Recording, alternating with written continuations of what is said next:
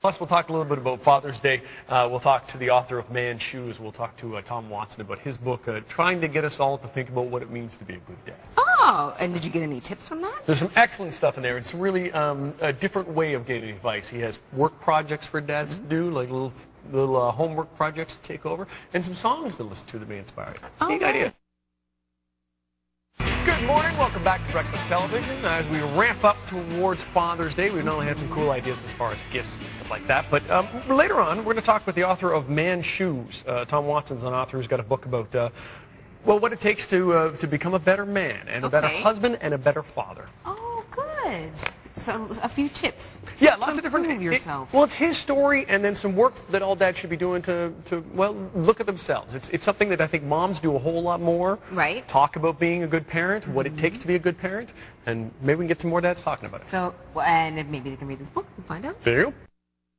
Man's Shoes is one man, one man's story about learning what it takes to be the best father, the best husband, and the best man that he can be. It's also a workbook so every guy can find those qualities in himself. Here to share a little bit about that is the author Tom Watson.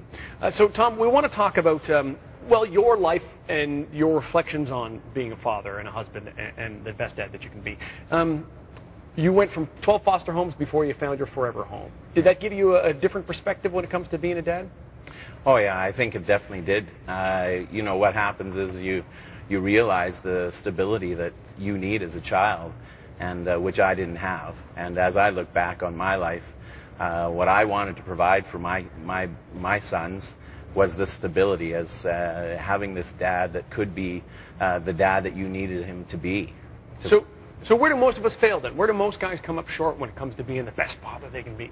Well, being the best father that you can you can be is is a difficult role. Sure. And uh, we we're very complicated beings. You know, we have these busy lives. We have careers. We have wives. We have friends. We we have fitness. We have faith. We have all these things.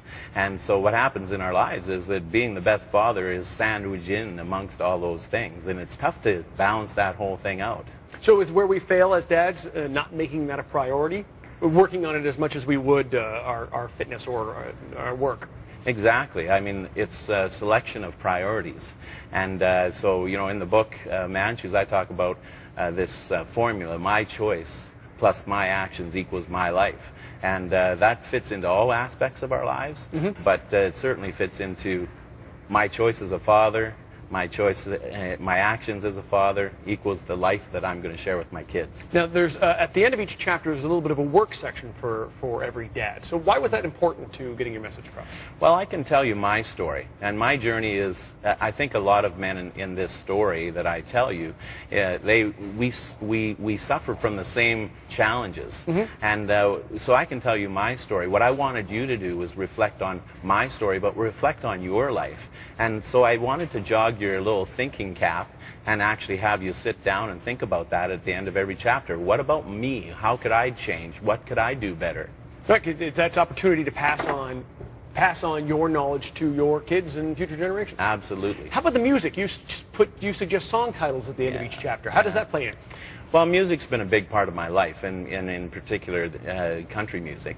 I love it. But, uh, you know, if we allow ourselves to open up our soul and just let something else influence us, to give us thought, time, and, that, and that's what music does for me. So that's why music's in part. If, if that's what it takes to get the dads thinking about becoming the best dad they can be, then good for them. Yeah. It's something to get them started. Amazon, uh, the website Amazon is the best way to find Tom's book or breakfasttelevision.ca for all the information. Thank you very much for your time. Thanks for having and me happy here. Father's Day.